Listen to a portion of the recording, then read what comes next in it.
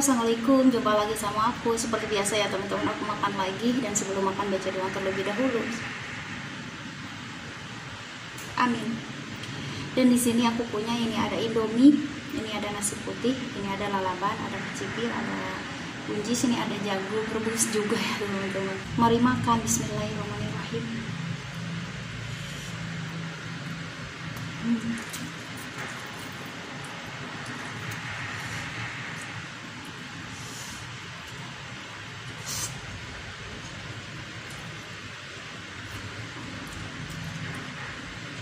Pedes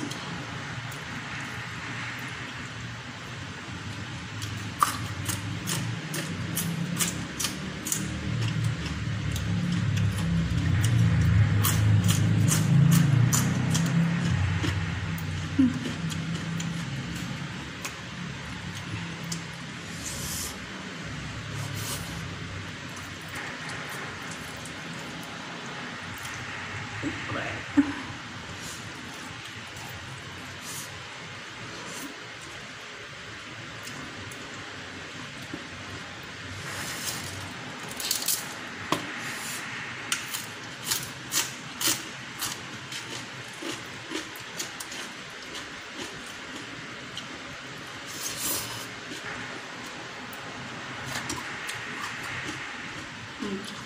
Baik.